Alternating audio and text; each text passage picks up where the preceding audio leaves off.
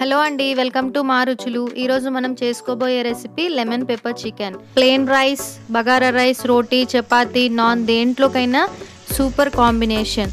మనం రెగ్యులర్గా చేసుకునే చికెన్లా కాకుండా కొంచెం డిఫరెంట్గా చాలా స్పైసీగా ఉంటుంది. స్పైసీ ఇష్టపడే వాళ్ళు ఇది తప్పకుండా ట్రై చేయండి. ఫస్ట్ టైం మా ఛానల్ని చూసేవారు లైక్ చేయండి షేర్ చేయండి అలాగే ఛానల్ని సబ్స్క్రైబ్ చేసుకోండి. ఇప్పుడు మనం ప్రాసెస్లోకి వెళ్దాం. ముందుగా మసాలాని ప్రిపేర్ చేసుకోవాలి. దానికోసం ఒక మిక్సీ జార్ తీసుకొని హాఫ్ స్పూన్ సాజీరా రెండు ఇలాచీలు నాలుగు లవంగాలు టూ స్పూన్స్ మిరియాలు వన్ ఇంచ్ చెక్క వేసుకొని మెత్తటి పౌడర్లా చేసుకోవాలి. ఇప్పుడు ప్యాన్ పెట్టి ప్యాన్ హీట్ అయ్యాక త్రీ టేబుల్ స్పూన్ ఆయిల్ వేయాలి. ఆయిల్ హీట్ అయ్యాక సన్నగా కట్ చేసుకున్న ఆనియన్స్ అలాగే పచ్చిమిరపకాయలు వేసుకొని బాగా మిక్స్ చేసుకోవాలి.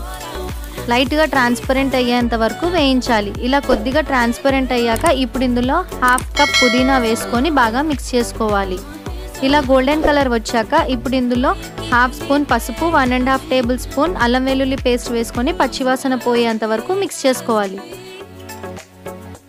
ఈ చికెన్ ఫ్రైలోకి పీసెస్ మరీ చిన్నగా కాకుండా మరీ పెద్దగా కాకుండా కొంచెం మీడియం సైజ్గా ఉండేటట్టు చూసుకోండి.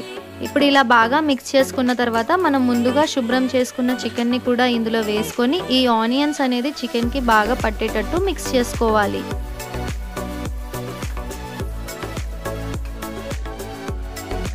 ఇలా బాగా మిక్స్ చేసుకున్న తర్వాత మూత పెట్టి మీడియం ఫ్లేమ్లో ఫైవ్ మినిట్స్ ఉడకనివ్వాలి.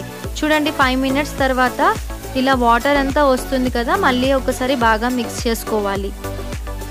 మీడియం ఫ్లేమ్లో బాగా కలుపుకుంటూ ఇలా అయ్యేంత వరకు ఫ్రై చేసుకోవాలి. ఇప్పుడు ఇందులో ఉప్పు తగినంత అలాగే హాఫ్ స్పూన్ ధనియాల పొడి వన్ స్పూన్ కారం. నేను ఇక్కడ Kashmiri red chilli powder use చేశానండి. ఇది ఓన్లీ కలర్నెస్ కోసం మాత్రమే ఇది ఆప్షనల్. ఎందుకంటే మనం ఆల్రెడీ మిరియాలు వేసాం కాబట్టి దాంతోనే స్పైసీగా సరిపోతుంది. అన్నీ వేసేసుకున్న తర్వాత బాగా మిక్స్ చేసుకోవాలి. చికెన్లో నుంచి ఆయిల్ పైకి తేలేంత వరకు ఉడికించాలి. ఇలా ఆయిల్ పైకి తేలాక మనం ముందుగా ప్రిపేర్ చేసుకున్న మసాలా పౌడర్ అలాగే రెండు నిమ్మకాయల నుంచి తీసిన నిమ్మకాయ రసం కొద్దిగా కరివేపాకు కొద్దిగా కొత్తిమీర వేసుకొని బాగా మిక్స్ చేసుకోవాలి. మిక్స్ చేసుకొని ఒక ఫైవ్ మినిట్స్ ఫ్రై చేసుకుంటే సరిపోతుంది. కరివేపాకు అనేది అస్సలు స్కిప్ చేయకండి. దీంట్లో ఫ్లేవర్ మొత్తం ఈ కరివేపాకుతోనే ఉంటుంది. చూసారు కదండి ప్రతి పీస్కి ఇలా మసాలా పట్టి ప్రతి పీస్ మనం తింటూ ఉంటే మనకు అన్ని ఫ్లేవర్స్ పర్ఫెక్ట్గా తెలుస్తూ ఉంటాయి. చూసారు కదా ఎంతో సింపుల్గా చేసుకునే లెమన్ పెప్పర్ చికెన్ ఫ్రై.